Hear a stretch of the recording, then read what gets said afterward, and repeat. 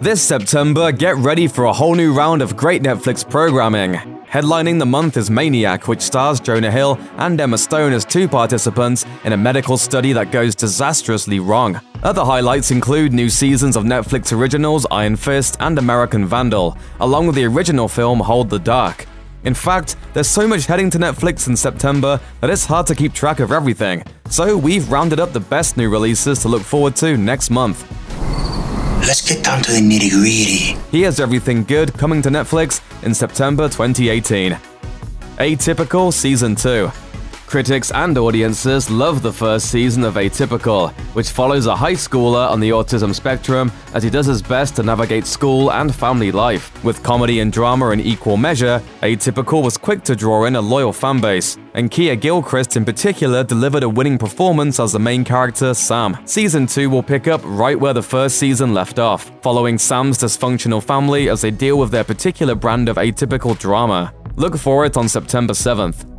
Marvel's Iron Fist Season 2 even though Iron Fist has the unfortunate legacy of being the least liked Marvel show on Netflix so far, that hasn't stopped the characters from making an impact. Iron Fist showed up in the team-up series The Defenders, and now he's back with the second season of his standalone show.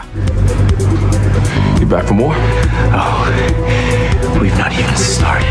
Will the new season manage to rise above the rocky foundations laid out in its first outing? Find out when Iron Fist returns on September 7th. American Vandal Season 2 we didn't think it was possible, but American Vandal is getting even more meta in Season 2.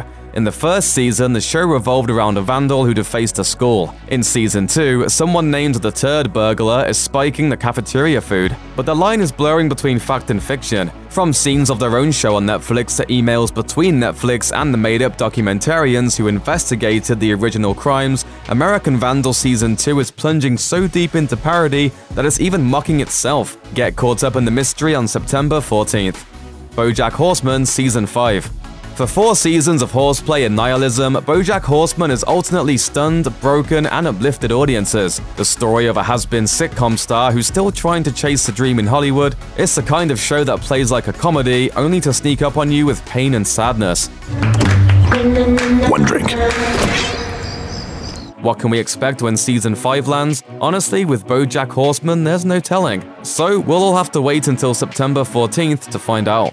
Maniac Limited Series Netflix has been dropping teasers for Maniac for months now, and we're still not entirely sure what the series is about. The premise is no secret. Jonah Hill and Emma Stone are two strangers who take part in a pharmaceutical trial. After that, all bets are off as the trailers dive into a montage of paranoia and alternate realities. We do know that Cary Fukunaga, the mastermind behind True Detective and the screenwriter of It, is helming the series, which promises a dark journey into the human psyche. Check it out on September 21st. Quincy. Rashida Jones rose to fame as Ann Perkins on Parks and Recreation in 2009, and she's been going non-stop ever since. Ann Perkins! The actress is the daughter of legendary musician and producer Quincy Jones, and now Rashida is turning her sights on Dear Old Dad with Quincy. The documentary will offer an intimate look at Quincy Jones' professional career and his private life. Take a look on September 21st. The Good Cop the Good Cop marks the streaming service's first foray into procedural crime shows anchored by quirky, off-kilter detectives. The series stars Tony Danza and Josh Groban as a father and son, both of whom are NYPD cops. Well, the father used to be at least, until he was kicked off the force and sent to jail for seven years. Now his son is a straight-laced, by-the-book detective who's trying hard to stay away from the corruption that landed his dad behind bars. I told him everything I know. Uh, except right from wrong. Look for it on September 21st. Norsemen Season 2 On the surface, Norsemen looks like a spoof of shows like Vikings and Game of Thrones, but watch a little longer and you'll find so much more than that. Norsemen anchors its many jokes with its own characters, storylines, and surprisingly rich production design. Farewell, brother. Why don't you just let me do it because I... No, no, no, it's just my hands are very cold. It's not a comedy style for everyone, but with Season 2 heading for Netflix on September 26th, you'll have plenty of time to give Norsemen a chance. You have something that belongs to me? We're actually in control here, so... Hold the Dark From Jeremy Saulnier, the director of Blue Ruin and Green Room, Hold the Dark is about a writer who's summoned to Alaska to track down the wolves that carried off a woman's son. Once he starts digging into the case, though, he finds that there's more to the story than he'd realized. Westworld's Jeffrey Wright stars alongside Alexander Skarsgård and Riley Keough. Look for Hold the Dark to hit Netflix on September 28th. New original stand-up. Netflix always has a few treats for stand-up comedy fans, and September is no different. On the 11th, look for Daniel Sloss live shows. The Scottish comedian will be hitting on a range of controversial topics with his trademark humor style. On the 18th, look for DL Hughley in an all-new Netflix special entitled Contrarian. With everything from Black Panther to current politics on the table, it's bound to be an entertaining show. New movies.